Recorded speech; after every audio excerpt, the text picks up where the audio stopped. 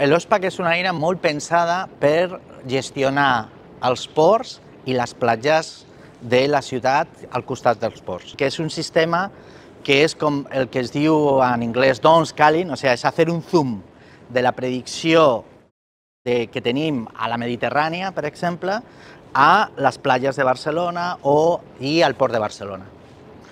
Aquesta és la, la diferència fonamental entre el que ja existeix i el que seria l'OSPAC. No? La UPC el que sobretot ha desenvolupat és els models matemàtics que resoldran la dinàmica de, de, de, del règim d'onatge, de corrents, de variacions de nivell del mar, als, al port de Barcelona i a les platges colindants, diguéssim, a les platges de la Barceloneta i de Gavà, etc. Per eh, saber, en funció de les condicions que tenim avui, com evolucionarà en dos o tres dies.